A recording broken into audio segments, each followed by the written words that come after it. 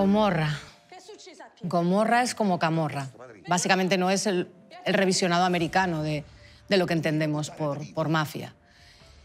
Pero precisamente eso que puede ser que sea, que sea menos cinematográfico, menos ideal, menos quitándole el glamour a, a, a esa violencia, hace que a mí me parezca terriblemente glamuroso.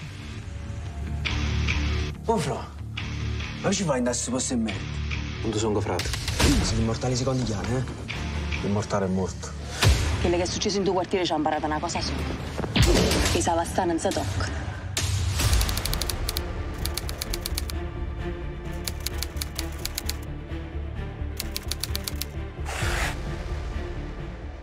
Eh, me apetecía ver la, la, historia de ascensión de un, del hijo de un jefe de la mafia que en principio no es una persona que mala o que esté familiarizada con la violencia y cómo empieza a hacerse hasta cómo empieza a hacerse fuerte hasta hacerse con el mando, ¿no?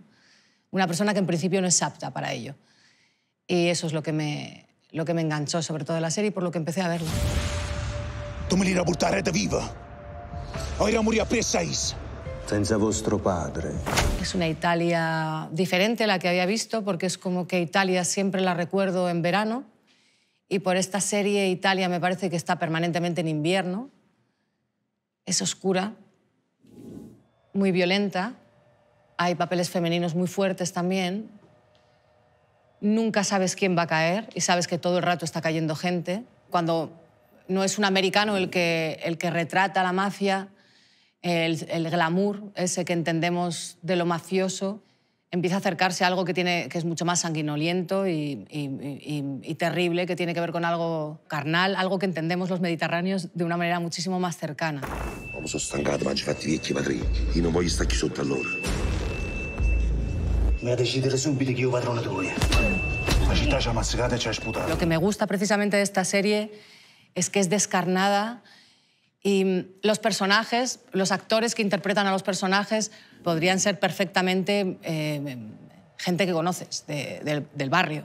No todos son eh, viejos en traje, o sea, no todos son gente de 60 años que tiene traje. También salen, que son los que más nos gustan, que son esa gente que uno lleva un respirador, el otro es medio tetrapléjico.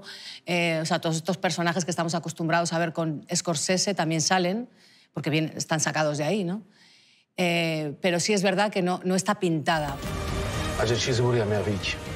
Sono scesa all'inferno per capire. La prima cosa che da capire è chi sono gli amici e chi sono gli nemici.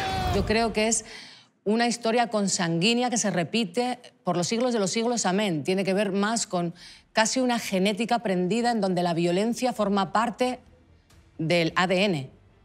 Es gente que ya no se puede salir de una espiral de violencia y aún hoy todavía, en el 2020, sigue funcionando de la misma manera. Realmente eh, mandan los que mandan en cada sitio. Se sienten in power. Están empoderados. Es gente que va con una pipa en el bolsillo y que te matan.